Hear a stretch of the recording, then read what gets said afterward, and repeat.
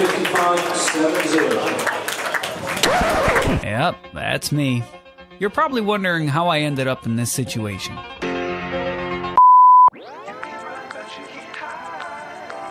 I didn't let the 2004 kid beat me. I was passing him on the street. I was like, I'm not losing to the kid.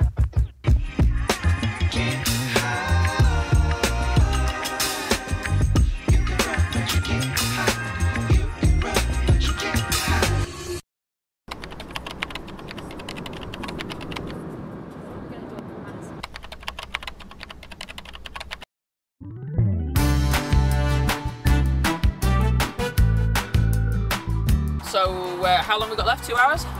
Yeah, two It's hours, basically two like three and a half hour drive. We got about two hours left. Just have a little stop.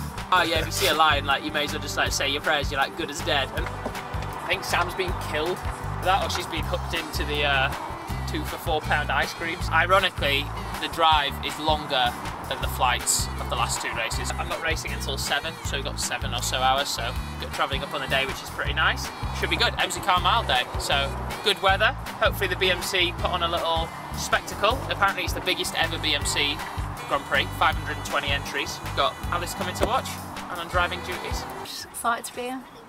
Just glad to be here. Glad to be here, yeah. Fair enough. Motivational.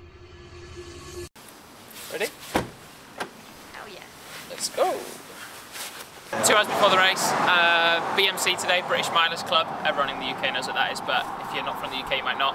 It's basically like the premier domestic league that we kind of have here. So this is one of the Grand Prix events, which is sort of the biggest. You have, you know, all, all range of athletes. In every event, you've probably got like A race all the way down to maybe like F or G race. Um, so yeah, I'm racing the Emsley Carr Mile, which is normally at like the London Diamond League, or um, it was at Night of the 10Ks last year. It's a pretty premier event. You've got people like um, Wightman that's won it, Kip Sang that's won it, it's McSwain that's won it, like crazy people. This year it's like a bit more of a domestic race, um, but there's still, you know, like 354, 355 milers in it, so should be a good race. Time is irrelevant, just about getting out there racing, getting some more confidence again, so yeah, should be good. Also for this first 400. Imagine not putting them in order. Come on, where are you? Where are you? You're not on there, okay. Never mind. Had to do, you know. I thought, I thought, So you know, I said when you win, you got to sign a book. Yeah. Well, what you do is all the competitors have to sign it. So you have a. I just took a picture because I was like, no one's going to believe what this is. All the competitors sign it, and then they print the name of all the people next to it, and then the winner will sign the winner's signature, and they So print the in the results. book? Yeah, yeah. So now I'm at least, even Oh, if you don't win. So you have all the people. So like. Sebastian Coe there. I, I, I is only 2017, so I doubt it. Unless he was on a wheelchair. What's funny is how different the signatures are. So like 2017, Wightman signed it there. So that's what he signed before the race. Right. It must be his nervous hand. Yeah. A bit of wobble. Oh, And then that's he's the, proper that, gone that, got that's exuberant that one, isn't it? Pretty cool. The the usual. No, Cambridge, white and blue. Oh, are you? Yeah, I thought I'd just go for the club best club Well, event. Get all the fans I can.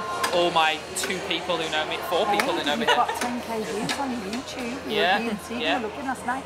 Uh, You're not giving up the pod then? You said you were going to give up I the am. I'm giving up the podcast when we hit the big time. Oh, Me and Charlie. me. yeah. Oh, I'll get. I'll sub you in if you want. You could be go on the podcast with the boys. the. Discount code Sarah for free subscription to the YouTube channel. Right, I'm gonna go. Is this it for the race? Maybe yeah. Or I'll look. Let's look cinematic. There we go. Slow mo that. Good luck. Yeah.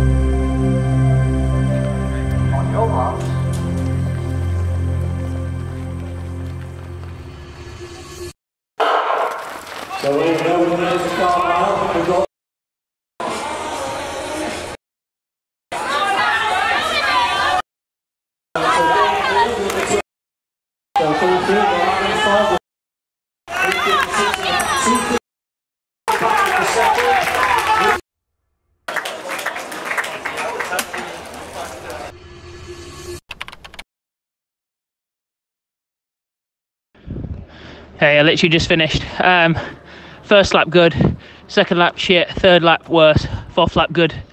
Uh, I ran four flat, so not the end of the world, but Jesus, I need to sort out the middle of the race. I think the problem is when I'm when I can see that there's a gap ahead of me and I need to overtake a guy to close the gap, I can't find it in my legs to accelerate.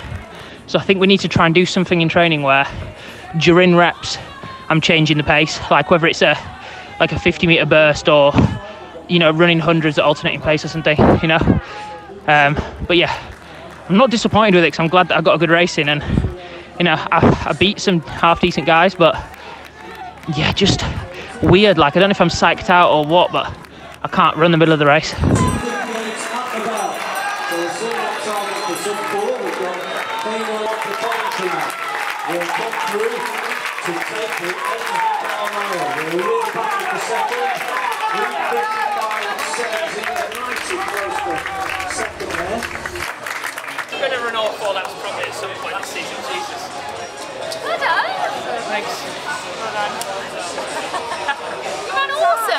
Yeah, the results are wrong. It says I ran 413. I came last. I was like, what? I thought I was passing people. And it, I looked like I was making hard work of it. He thinks I was quite like it looked like it was hard compared to when I when I started moving You- and I'm really upright. It looks like. I'm doing well. You know when the group started to move away and I was in And the you- second and the group, dude in front of I you, yeah. I needed to pass him and Yeah. join that group.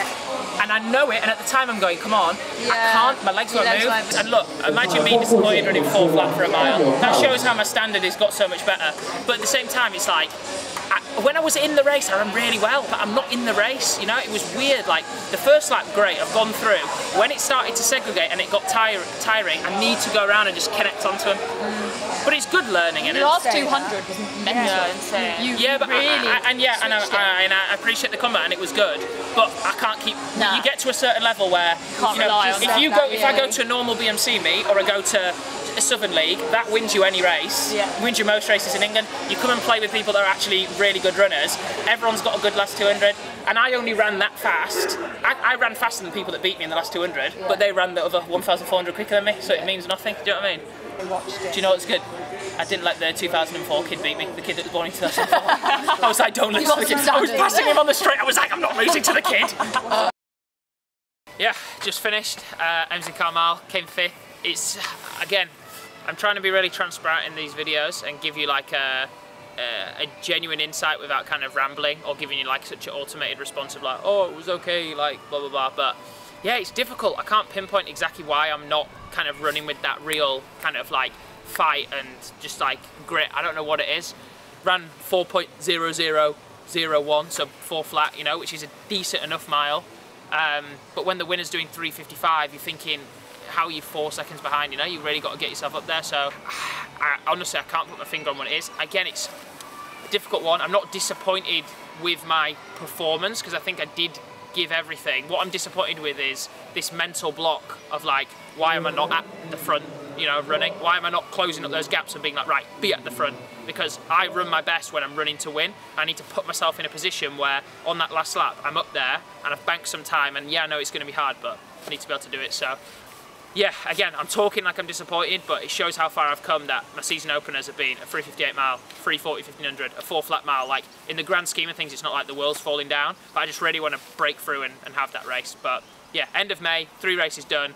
I've got two weeks now to get some hard training in. I'll probably try and get at least three kind of good sessions in and take Nick's kind of feedback of how we might be able to improve. And then go again, 10th of June, 1500, and yeah, just really try and get up there and get after it again. I'm, uh, I'm positive, I know it's going to come at some point in the season. I just don't want it to be right at the end of the season, finally get a breakthrough. I want to build some momentum and get after it. But I've had three very different racing environments now with kind of like big names in America race, a 1500 in kind of the middle of nowhere where it was all about times, and then here in front of British crowd with people I know cheering me on, that kind of thing. So racing wise, I'm less nervous, I'm more into it. Hopefully I'll get some momentum. It's just, I've not walked away from one of the races buzzing yet with a smile on my face. It's it's difficult, but everyone's in the same boat. So yeah, thanks for watching the video. Um, subscribe to the channel to see what else happens later on in the future. Um, and yeah, hopefully I'll bring some good news in the next video. Cheers.